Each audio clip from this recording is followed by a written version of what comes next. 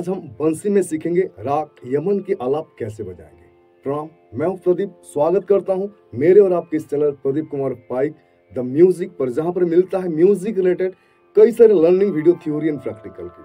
हाँ दोस्तों, अगर आप म्यूज़िक में रुचि रखते हैं, म्यूज़िक में इंटरेस्ट रखते हैं, संगीत सीखना चाहते हैं, बंसी वादन सीखा करना चाहते हैं, कीबोर्ड बजाना सीखना चाहते हैं तो इस चैनल को सब्सक्राइब कीजिए, वीडियो को देखिए। वीडियो पसंद आए तो एक लाइक कर दीजिए और साइड में है बेल आइकन उसे प्रेस कर लीजिए ताकि जब भी मैं नया वीडियो पोस्ट करूँ तो सबसे पहले नोटिफिकेशन आपके पास पहुँचे। हाँ दोस्तों, आज की वीडियो में हम सीखेंगे बंसी में राग यमन की आलाफ कैसे बजाएँगे। कोई भी राग बजाने से पहले, उसी राग का फीलिंग्स लाने के लिए बंदिश से पहले एक आलाप करते हैं। उसी आलाप को हम आज बंसी में सीखेंगे। देखिए दोस्तों, किसी भी राग को गाने या बजाने से पहले पहले हमको उसका परिचय जानना चाहिए। आइए, राग यमन की परिचय है, करवा देता हूँ। राग यमन की रचना अपने ही नाम वाले थाट, कल्याण थाट से उत्पन्न हुई है। इसलिए इसको आश्रय राग कहा जाता है। कल्याण थाट की आश्रय राग कहा जाता है। राग यमन को कल्याण राग भी कहा जाता है। इसकी मध्यम स्वर तीव्र होता है। राग कल्याण में तीव्र मध्यम स्वर की प्रयोग किया जाता है और बाकी सब स्वर शुद्ध होते हैं। राग यमन की बादी है गा और संवादी स्वर है नी। इसका गायन या वादन समय है रात की प्रथम प्रहर। दोस्तों, राग कल्याण की आरोह अवरोह में सात सात सुरों की प्रयोग होता है, इसलिए इस राग की जाती है संपूर्ण संपूर्ण। हाँ दोस्तों, देखिए, राग कल्याण का आरोह है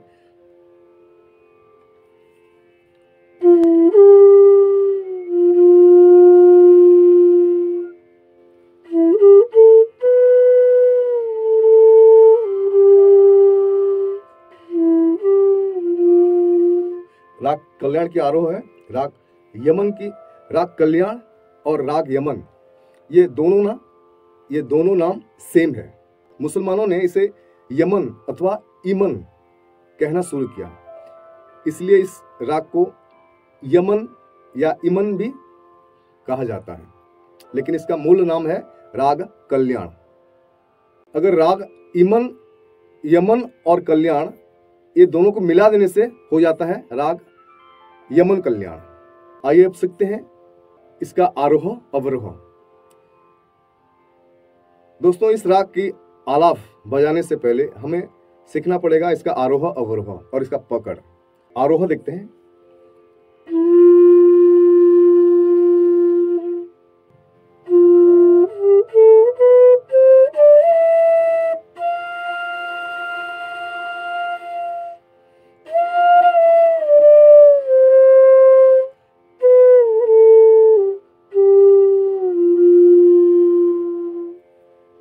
आरोह ऐसा भी हो सकता है। सा, सारे गामा पाधा निशा सानी धापा मागारे सा किसी और संगीतकारों ने इसे नीरे गामा धानी सा भी करते हैं। देखिए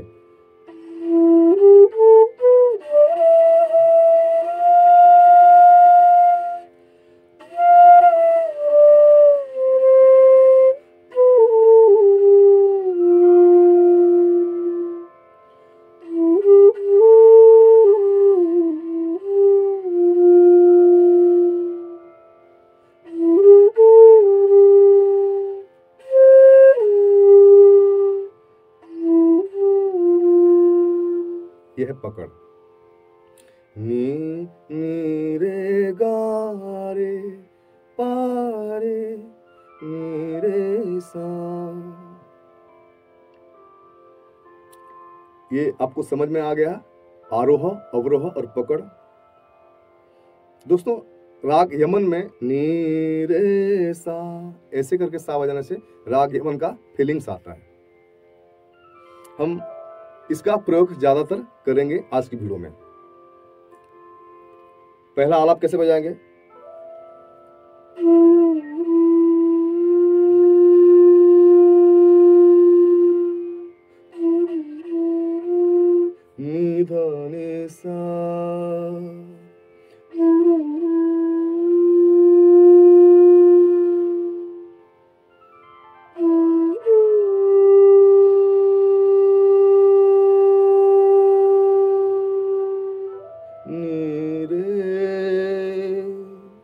दोस्तों, ये आलाप।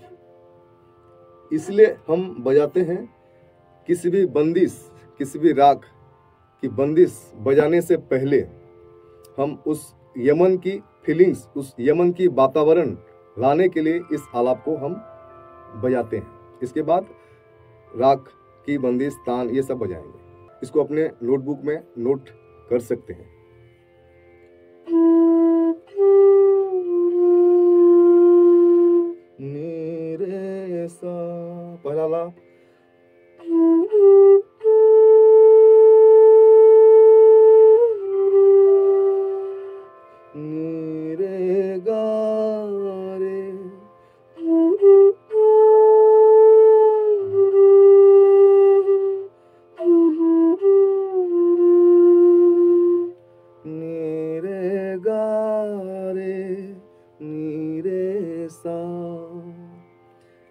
धीरे धीरे बढ़ता जाएगा।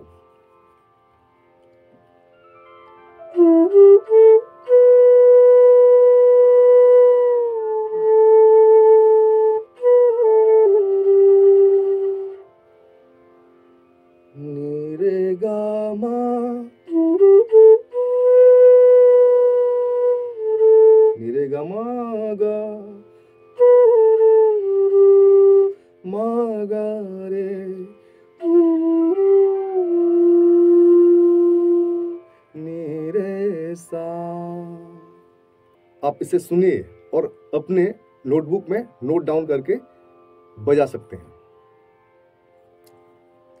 आलाप ऐसे धीरे धीरे धीरे धीरे ऊपर ऊपर चलता जाता है सुरों का।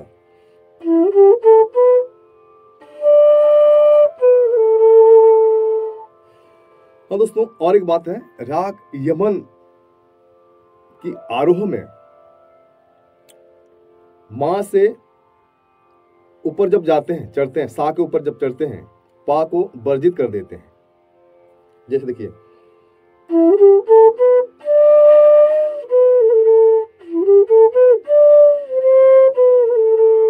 नीरेगामा ढा लेते हैं। नीरेगामा पा लेने से राग यमन की फीलिंग्स नहीं आता है।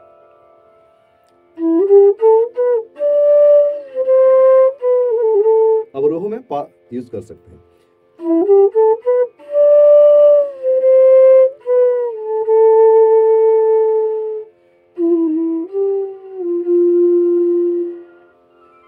क्योंकि इस राग की पकड़ है। नीरे गारे ये बजाने से राग यमन की फीलिंग्स आएगा। नीरे गारे ज़्यादा तक यूज़ करेंगे। नीरे गारे पारे। नीरे सा जब इसके और भी ऊपर जब चढ़ेंगे सुरों के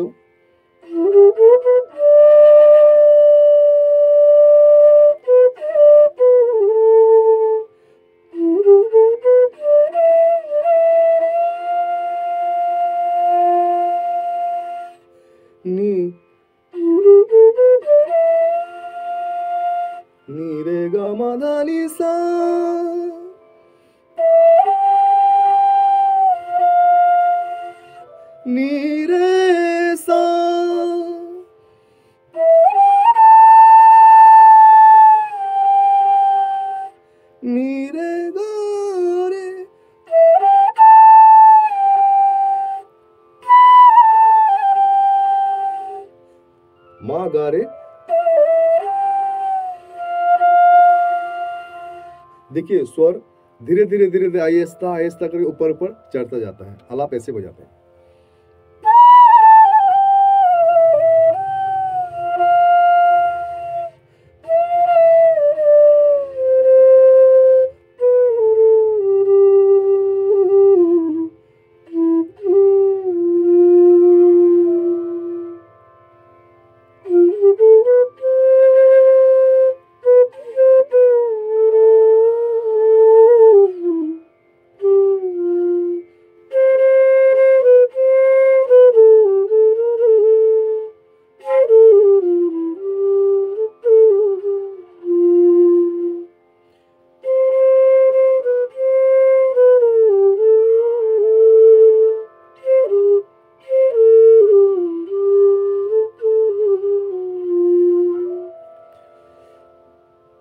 दोस्तों, ये था राग यमन की आलाप के बारे में कुछ जानकारी बातें।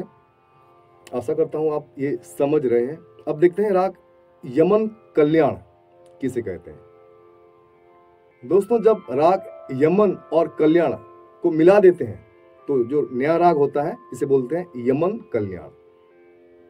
राग यमन कल्याण में शुद्ध माँ का प्रयोग, अवरोह में केवल दो गांधारों के बीच प्रयोग किया जाता है।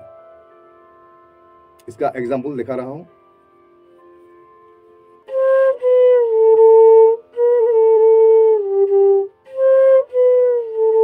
पामागा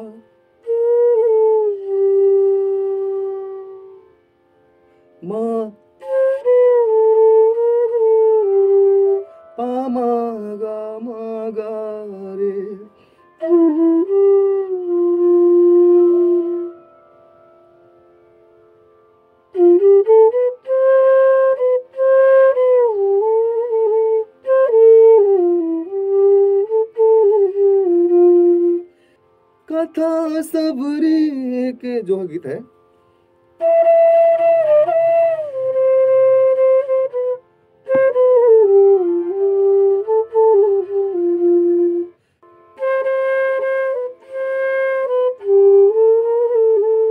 बजाओ ढोल स्वागत में।